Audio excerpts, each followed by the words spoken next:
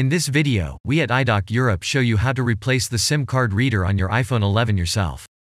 The repair is a bit more difficult because the display is glued on and you have to take care of the somewhat fragile flex cables. You should plan at least 30 to 60 minutes. If you're not yet familiar with iPhone repairs, you'd better plan a little more time for it. For the repair, we recommend the following tools. Tools and spare parts are available from iDoc at www.idoc.eu. All links can be found in the video description. And now have fun with the repair. First turn off your iPhone to avoid short circuits. Press and hold the standby button and one of the volume buttons, and then confirm to switch off the phone. To remove the display, first remove the two pentalobe screws to the left and right of the lightning connector. Apple uses special pentalobe screws here. The links to all necessary tools can be found in the video description. The display is strongly glued. So you should heat the glue to remove the display. Use a heat gun or a hairdryer. To remove the display you will also need a suction cup and a hard plastic plectrum. An iFlex is also handy for getting into the narrow gap between the display and the frame. Note, however, that the iPhone is no longer waterproof after a repair. Heat the edges of the display to about 60 degrees Celsius. Take care not to overheat the device. As a rule of thumb, always heat the device only so far that you can still touch the heated area with your hand. Heating softens the glue a little bit and lets you remove the display. Now grab your suction cup and stick it to the bottom of the display. Next pull on the suction cup and insert a plectrum into the space between display and frame. If you have been able to push the plectrum in a little bit, move the plectrum once around the frame and lever the display slightly upwards.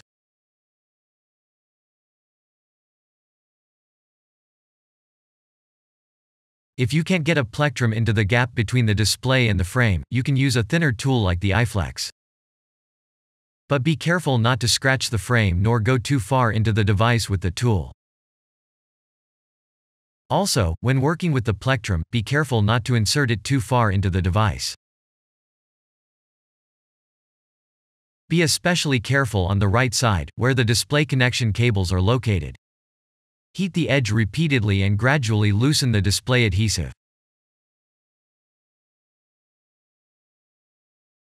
Once the glue is loosened all around, you can fold open the display. Don't unfold the display too much, or the cables might get strained and suffer damage. Put a stable object next to the iPhone to support the display and make your device doesn't slip away.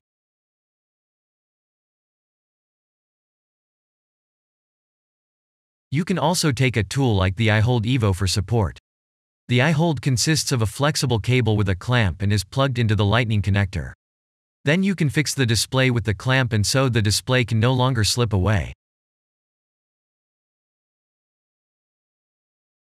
The display unit is connected with a total of three connectors. First of all remove the cover plate above the connectors.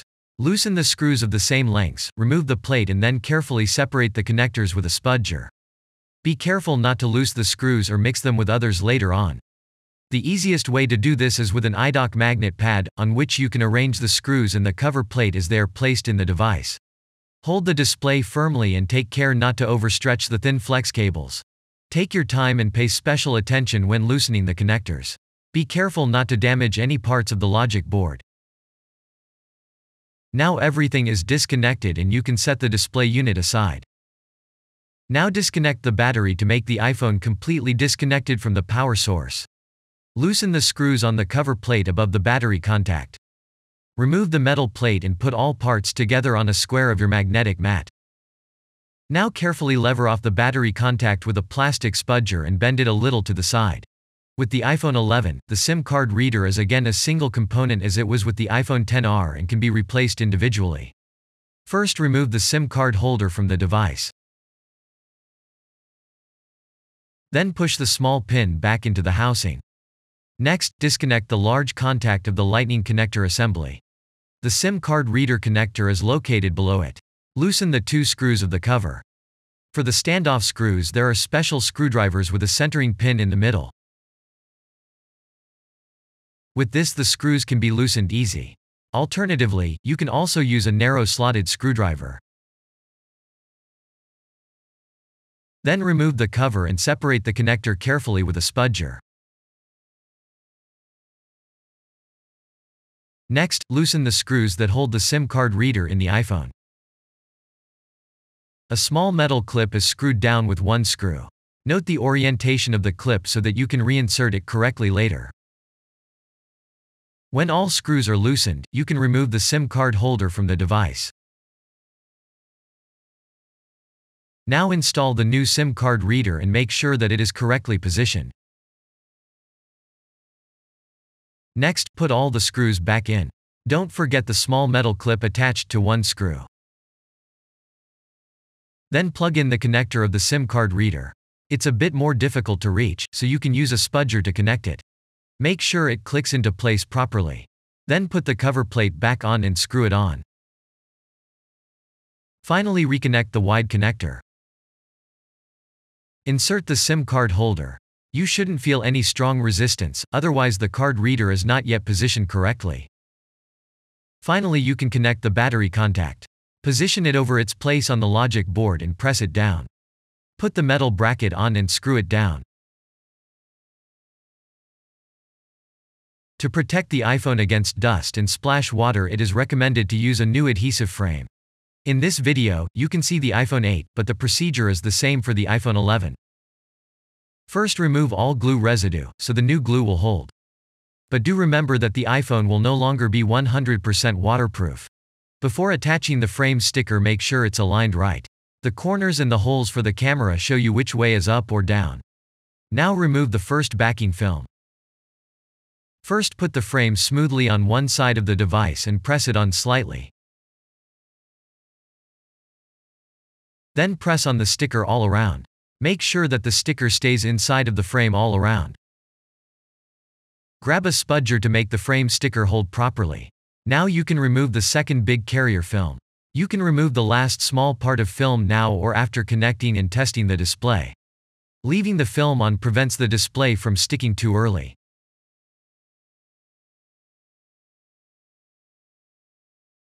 Place the display unit on the edge of the frame and lean it to a stable object, so the fragile flex cables don't get stretched too far. Make sure your device doesn't slip away. Connect the three display connectors. Make sure you place them right before you press them on. Don't slide them around over their logic board sockets or the contacts might get damaged.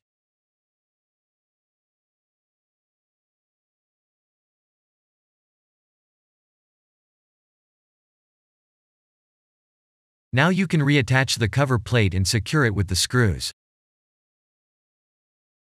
You can now do a quick test to make sure the SIM card reader is working right. You can also test if the display is connected correctly. Carefully fold down the display, but don't press it onto the frame yet. Now press and hold the standby button to start your device. Test if the display works correctly and use a SIM card to check if the iPhone recognizes it properly. If everything works fine you can go on and close the device. If the touchscreen or the earpiece isn't working right, it could be because the connectors aren't sitting right or the flex cables are damaged. Now carefully fold and close the display. Make sure the display is sitting right before you press it on. Gradually press down the display so it's sitting on the frame right.